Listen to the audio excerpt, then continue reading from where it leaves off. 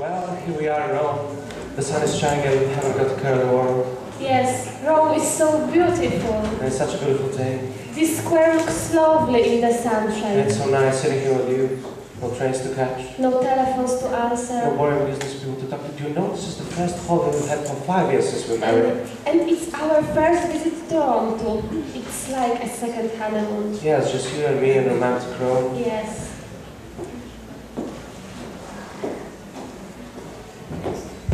Excuse me, do you speak English? Oh, yeah, I do. May I sit here? Of course. uh,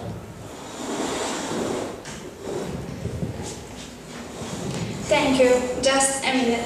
It's Jeffrey. Jeffrey, pardon? Teresa to Jesus. Uh, Jeffrey, darling, how lovely to see you. It's been so long. Teresa, this is my wife, Dorothy.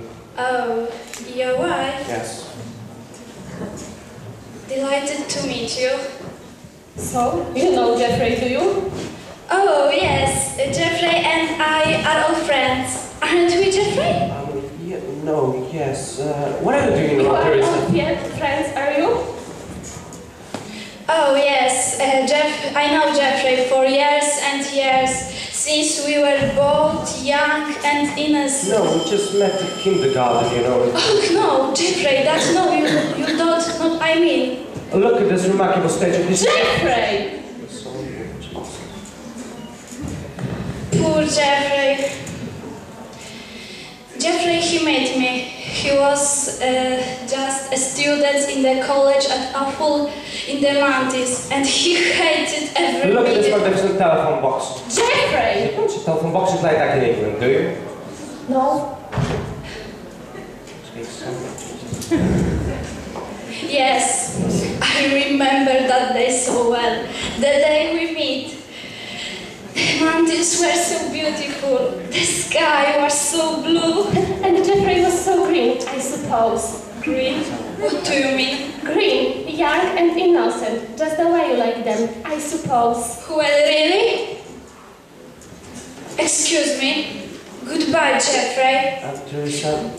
Delighted to meet you. Goodbye, Jeffrey. Oh dear. So, before you met her, you were just an innocent boy. Yes. You told me I was the first woman in your Yes, life. Dorothy, I know. And I believed you. Uh, yes, I know I was the first man in your life. I told you everything. Oh, wait, I have a martini, please. Certainly, sir. Uh, and for you, madam? Oh, Dorothy? Giovanni! Dorothy! Giovanni! It's wonderful to see you again. Again, have you ever met this man? It must be five years. Six! Giovanni, six! And now, uh, Oh. now you've come back. Come back, what are you talking about? Come, We have so much to talk about. Wait, wait, can, can we... Dorothy,